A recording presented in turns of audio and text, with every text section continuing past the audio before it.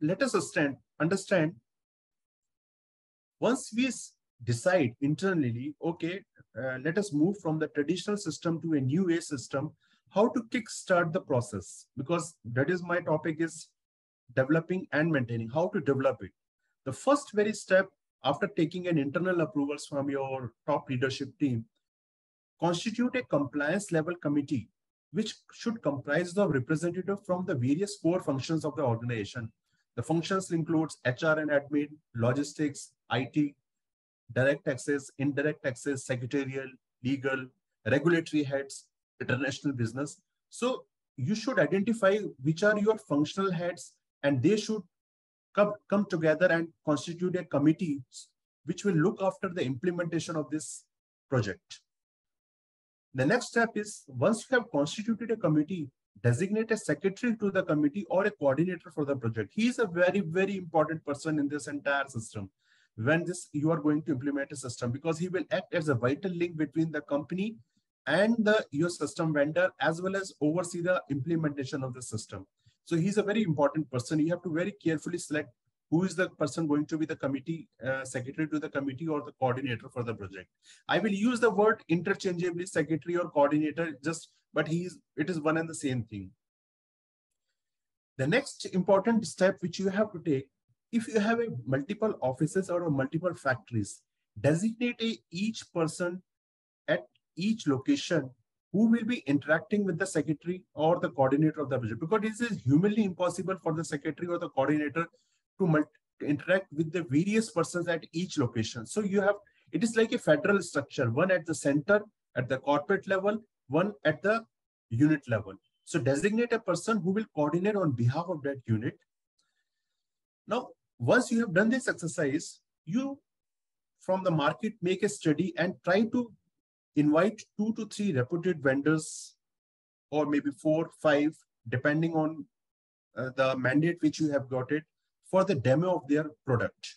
So you will contact the vendors. Vendors will uh, fix a time with your compliance committee and fix a time for the demo of the product because the demonstration of the product is very important at this stage. Organize the demo. Once you have fixed the time, organize the demo with the committee members and try to involve your CEO, if not possible, at least CFO and whole-time director operations, because they are very, very important person to take the decision which software to go for. Once you have taken the demo and you have got the feel, look and feel of the uh, of the software, the software vendor, you have to take the next step to finalize the vendor. But before finalizing the vendor, you have to share the certain your general business and operation details, which, which is not confidential in nature, to the vendor so that the vendor can work upon what kind of quote he has to give and what kind of technical and commercial quotation you have, you have to receive it.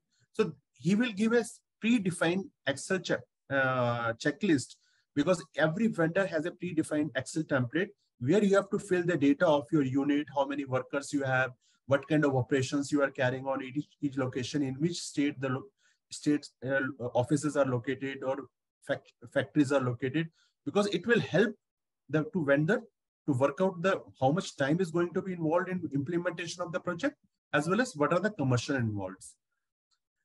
Once you have shared the data and vendor has worked upon that, you will receive the bids or the commercial and the technical quotations from the vendors that if you if X vendor has to go for implementation of the project, what will be the commercial and what will be the technical? Technical here, I mean, what are your IT infrastructure requirement you need to have to implement that software?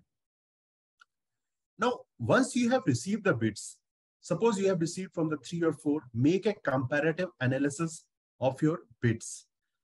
Please keep in mind, while making a comparative analysis, make sure whether the vendor has a regulatory expertise or the regulatory domain expert of the industry which you belong. Suppose you are in the aviation industry, whether the vendor has an aviation law expert in, or you are in the pharma industry, whether vendor has a pharma, because there may be two type of vendors. One vendor is he has a general law expert, and one vendor is who has an expert vendor, expert law expert uh, on the laws of the industry of which you belong, because that will play a very very important role in developing your checklist.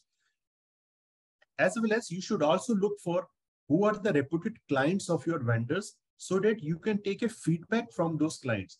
When I was going for an implementation in Jubilant, I shortlist two to three vendors and I spoke and I take a reference from the vendors of their clients and I spoke on a one-to-one basis and I, I and I took the feedback and I am mentioned in my analysis because this feedback is going to be analyzed by your committee members because you have to present the evaluation. Once you have done the evaluation of the vendors, present the same to the committee, including the clients, the feedback, so that the committee members and your CEO and CFO is able to take a decision which vendor to be shortlisted. So basis your evaluation, once you have shortlisted, say X vendor, execute the purchase order with the agreement or agreement with the vendor and if possible, try to fix your payment terms on a milestone basis, like on the receive of the checklist, on the live of the, once you, the vendor will make a live one month or two months after the, the uh, product is become live so that there are milestone payments. You are, both parties are in a win-win situation. I hope you understand this. Welcome to Complinity Technologies. Complinity is India's leading governance, risk and compliance software helping companies to manage their compliance, contracts, litigation, legal updates, inter-financial controls and more. Complinity is a one-stop shop for all GRC needs.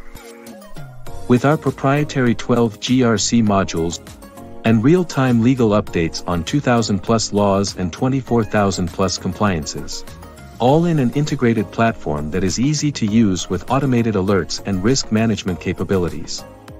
Is why compliance managers, general counsels and chief financial officers choose Complinity every time. Join the most innovative and prestigious brands that use Complinity. Automating your compliance management, request a demo at complinity.com.